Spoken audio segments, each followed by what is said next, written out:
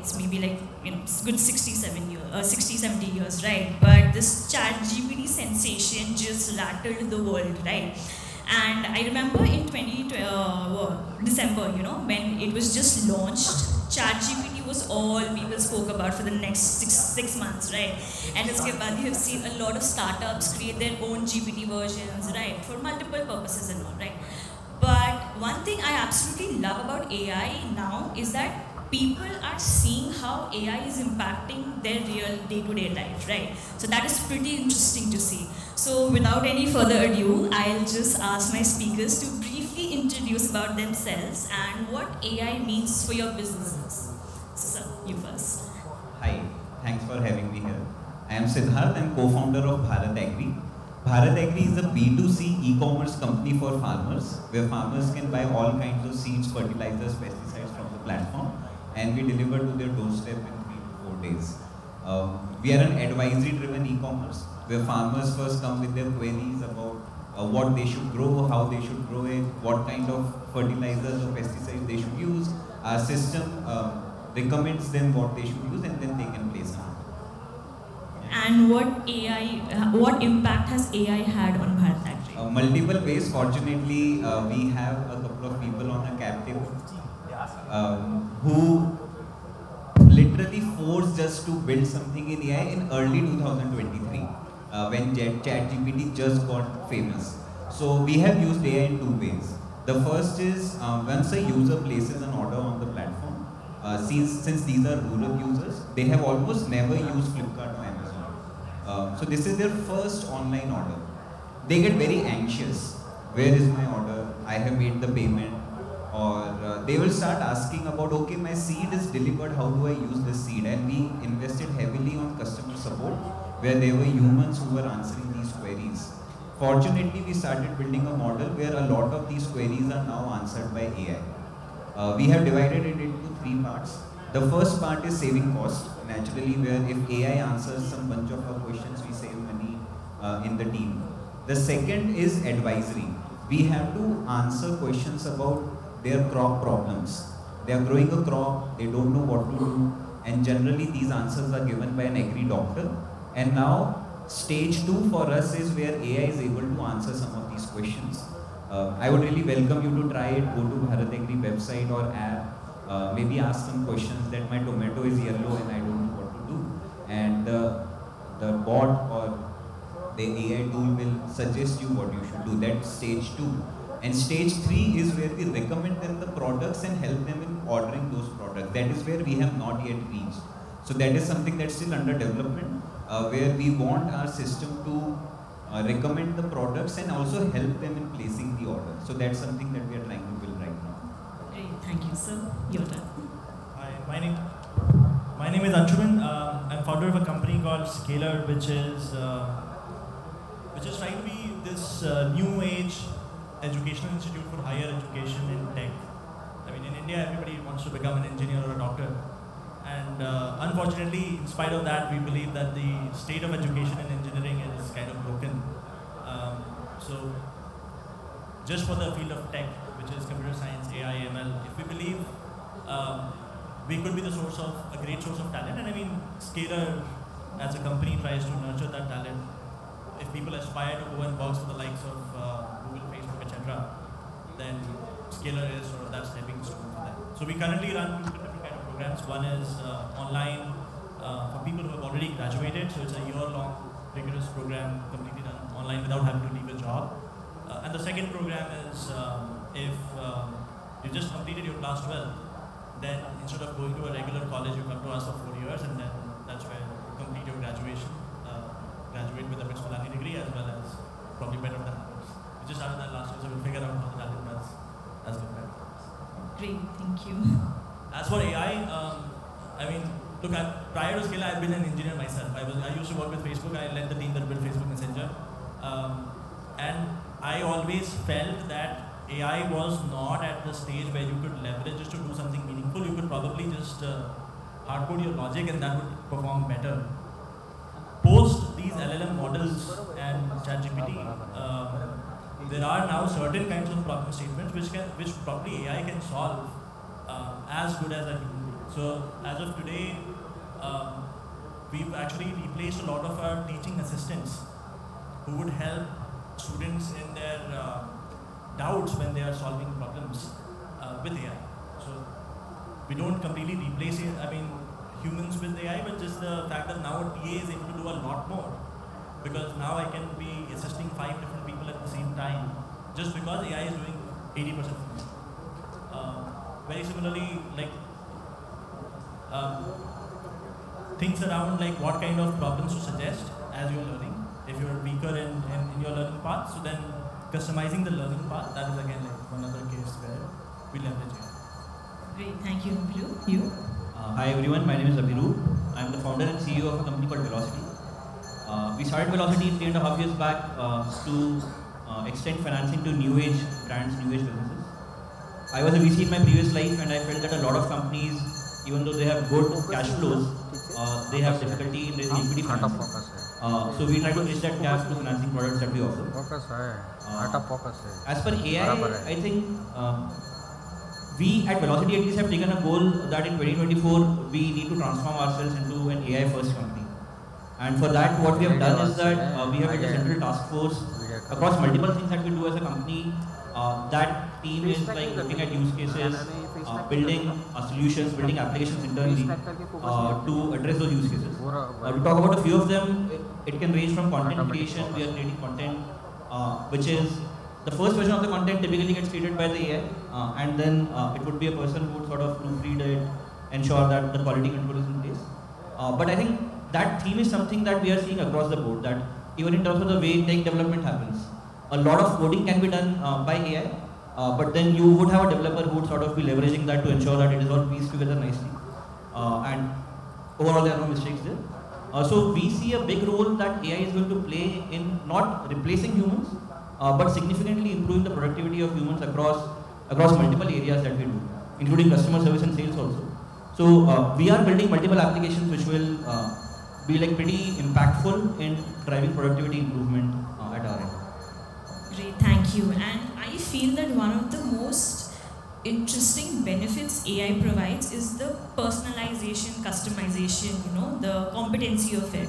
So, in your, you know, specific industries, what role does it play, and what do you think are the hidden gems or the hidden gaps which, you know, potential startups or you, in fact, if you wish to expand, can, you know, fulfill? So, yeah, I will start with you. Yeah. Yeah, I mean, I I was basically attending a conference from Jeff Dean, who is one of the um, Google chief scientists. He said like there are two major breakthroughs that are going to happen through AI in the next five years. Uh, one is in the field of education, and the other is in the field of healthcare. Uh, in education, he specifically mentioned that look, I mean, if you look at the kind of education that aristocrats used to have um, in early times, was that a, a king would make sure that their sons or daughters have a personal coach all throughout their journey. Um, however, that does not scale to the regular masses.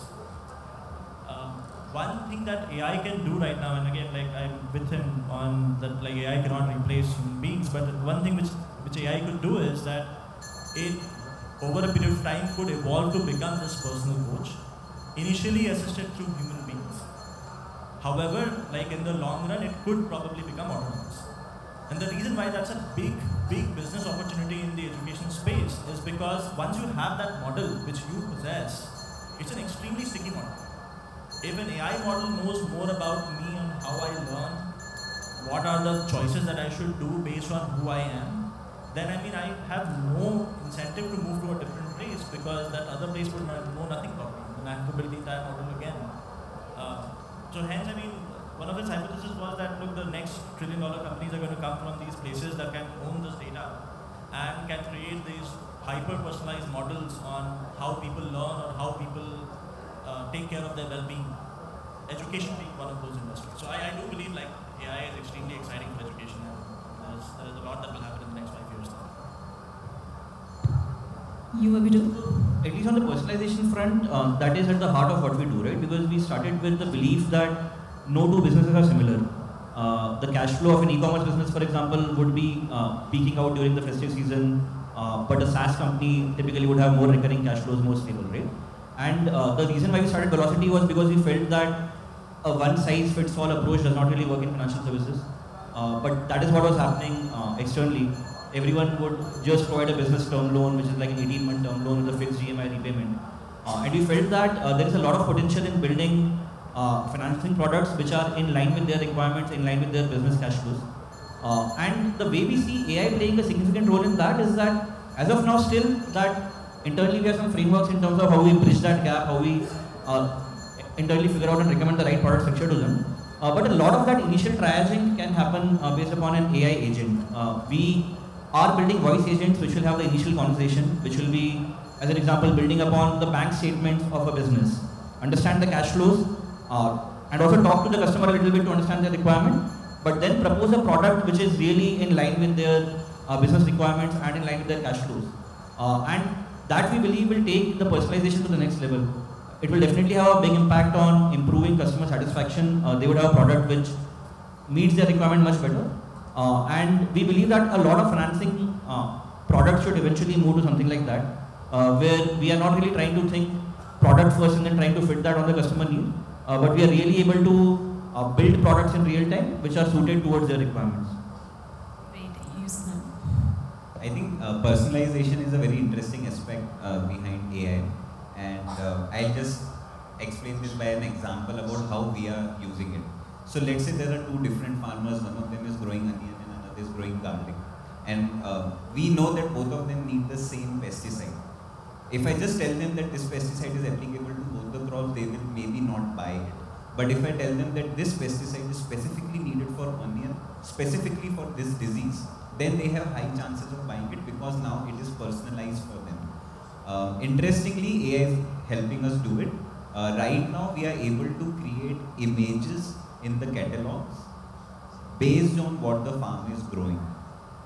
And when the farmer sees an image, when the farmer initially tells us that he's growing onion, and then the entire app has images about what pesticides are needed for onion, they have high probability of buying it. We are looking forward to a stage where we will also be able to generate videos that are personalized for the user. Right now we have reached a stage where text and images can be developed and can be shown to them. Maybe next three to six months we'll reach a stage where even videos will be generated automatically based on the input that the user has given to us. That would be really next level where the farmer will feel or the user will feel that this video is specifically for me. It's like a doctor speaking to you. Then the probability of the farmer buying that particular product is very high. And that's possible only because of AI because we can't build, we can't create hundreds of videos every week, human. Great, great. Uh, so, uh, that this question will be for you. Is that, you know, considering the fact that the global agriculture hello yeah the global agriculture market is you know was supposed to be around 1.7 billion, uh, million usd dollars in 2023 and it's about to obviously grow like you know tremendously what all what would be your one uh, you know like just a piece of advice for potential agri-tech startup founders I think in this particular field, the biggest advice that I would like to give may not be related to AI, but would be that uh, staying with the customers for a long duration of time, interacting with them as much as possible really helps in the early stage. One difference between agri-tech and any other segment is if I am in Bangalore and let's hypothetically assume I am building a e-commerce or a quick commerce uh, business, I can interact with five customers within 100 meters of my house and I can do customer surveys and I can try to see what I'm doing is right or not. But that fails when you're building an agri-tech startup where you have to maybe shift yourselves to a village. But just going to the village over weekends will not help, which a lot of people do while before starting the company. You have to shift there, uh, live with them for at least 6 to 12 months and learn from them. That would be my advice. Great, great. And Anshuman, this would be for you. Uh, you know, considering the fact that in today's time, IT pool, obviously India is known for it, and there's just this constant upskilling and reskilling which is required, right? So So what, on a scale of 1 to 10, 10 being the most mature, what AI pool in India, IT pool, do you rate right now? People are going to beat me for it. but, but our quality of talent, actually, so India is uh, two parts.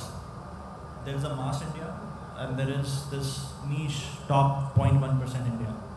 Um, the niche top 0.1% India is absolutely AI ready. Reason is that AI is actually built on fundamentals of computer science. If you're really, really strong on fundamentals of computer science, then it becomes easier for you to then also become an AI. If you look at the talent pool, for example, in OpenAI or Facebook AI Labs or Google AI Labs, none of them have done any course or an educational program which is around AI. It's they've just been proper CS engineers who had extremely solid fundamentals and hence were able to learn everything would make sense. Then there's this mass pool of um, India, which unfortunately associates themselves with tools. If you go and ask a random person, they'll say, I'm a Java engineer, I'm a Python engineer, which is absurd. No, no mechanic says I'm a screwdriver mechanic. Um, and because of that, because they stick to that portion, they don't, I mean, their minds aren't actually designed to look at patterns and then like understand AI as much. And hence your mass India is actually not ready for, for building models as of today. Um, there is a big gap that still needs to be filled up. That's probably why we exist. What's the score you are giving? 0.1% probably 9 out of 10. Uh, the other 99.9, 2 to 3 out of 10. Great. Uh, you know, Abhirab, this will be to you. Um, you know, in today, like, there's this just this, you know, like a boom of AI startups, right? And abhi everybody is interested. Let's go start an AI startup and all this stuff, right? But obviously, you need to have a mindset where you need to be patient about right? Because you have, you will have like hundreds of competitors in the same space, right? And obviously, you need to have that patience, which you know certain section of founders might not, you know, have that patience or they just want, you know, like quick results and all. So what would be your advice to them and how are you planning to, you know, adopt more AI into, you know, further processes of velocity? So see, I think uh, the approach should not be to build AI products first. The approach should be to solve a customer need gap or a problem leveraging that technology, right? And I think, uh, as you correctly mentioned, that a lot of companies are being built around AI across the globe, and across a lot of uh, areas, the competition is going to be global, right? So every use case that you're thinking about, there is someone else who is sitting in Silicon Valley who has potentially raised more money than you, uh, who is building a similar solution, right? And I think the way to uh, address that and build that into your plan is to think your user first, your use case first. So if you have a deep insight about your user, if you have a deep insight about the vertical that you're operating in, that's where differentiated use cases can be built upon. Uh, so instead of building like a thin wrapper on top of an open LLM, uh, it's better for you to sort of pick the vertical that you understand well. At least in our case, we understand financial services well. Uh, and we therefore understand that typically when a collections agent is calling a particular customer in India, exactly what is the kind of conversation that needs to happen? Exactly what are the boundary conditions that need to be built to ensure that it is compliant regulatory wise, right? And when you go that deep, understanding your user and understanding your vertical specific context better, that's when you can build a differentiated solution. And I think that's what my advice would be to people who are thinking of building AI-based applications, that they should go deep towards a specific niche customer segment, uh, and they should build upon understanding of a vertical that they already know well. Uh, that's where the unique insights and unique use cases are going to come from. And uh, whilst addressing that problem, they should definitely think about leveraging all the developments which are happening in AI. Uh, but it has to fundamentally be focused on a very sharply defined customer persona. Okay, thank you. And you know, in just a few days back, we had you know uh, Mr. Chandrasekharan talking about the AI advisory, and it just you know like just jolted the entire segment. But he's saying it's not going to affect the startups particularly. It's more into the you know like giants, tech giants, and corporations. So, what is the to the three of you? What is the current sentiments towards this AI advisory in the space? So we'll start. I think we are fortunate enough that uh, a quick advisory came that it is not applicable to startups. so we are safe uh, because we don't want to run behind uh, someone to take approvals.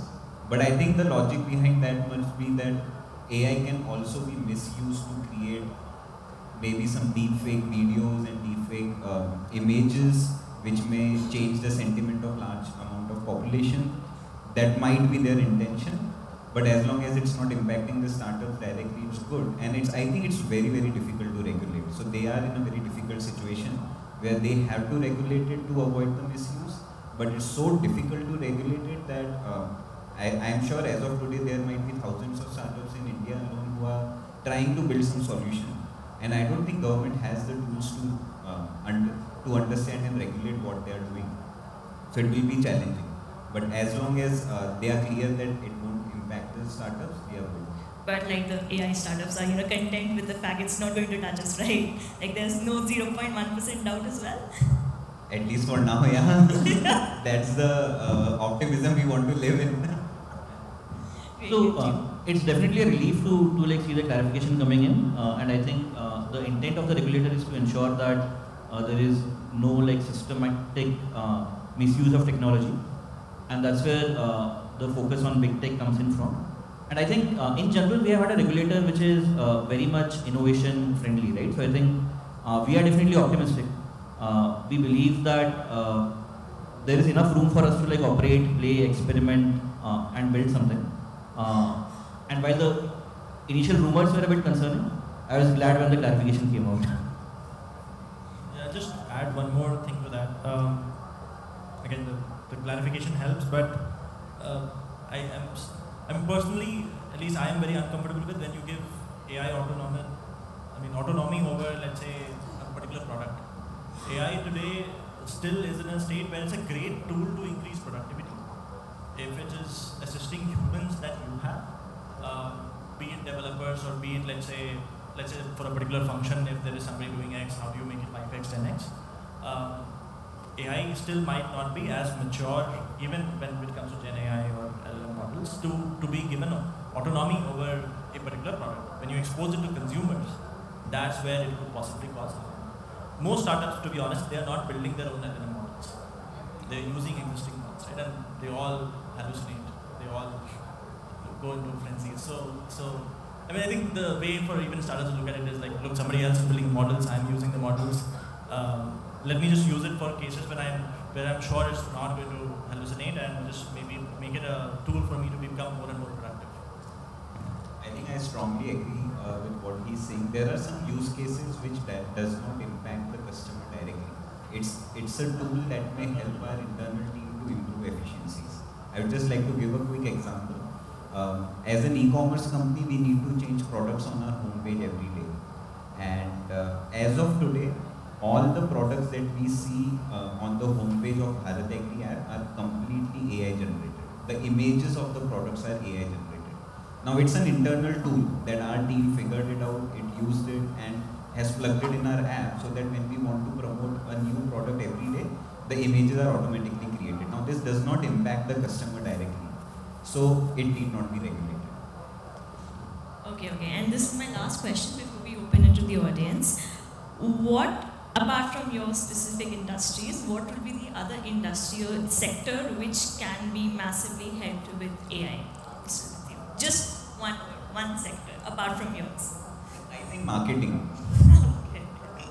Yeah, I, I said healthcare before, right? Today we have so much data. I mean, I know every single second what was your heartbeat, what was your oxygen levels. Uh, I have blood reports. Today, no doctor, when they give their diagnosis, they are considering all of that data. If there is, let's say, a system which had access to that, then I could, when today diagnosis is for symptoms. You have a fever, I'll give you a paracetamol so that your fever goes away. Never is a diagnosis on the root cause of your issue, right? If you, if I have so much data then doctors could start giving more accurate diagnosis on the root cause of the issue.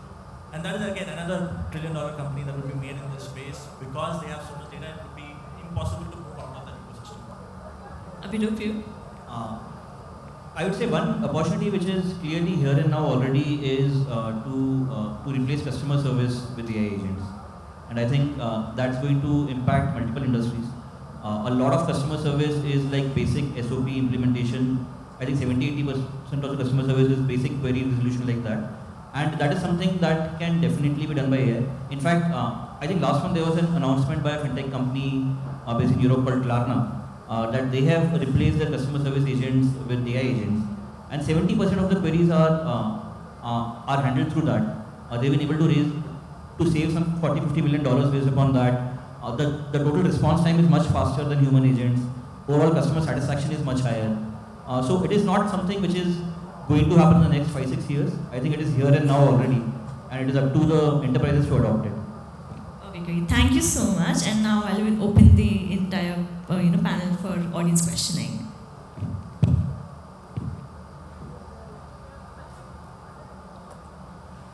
No questions? Okay, that's it. Thank you so much everyone for joining us. Thank you so much.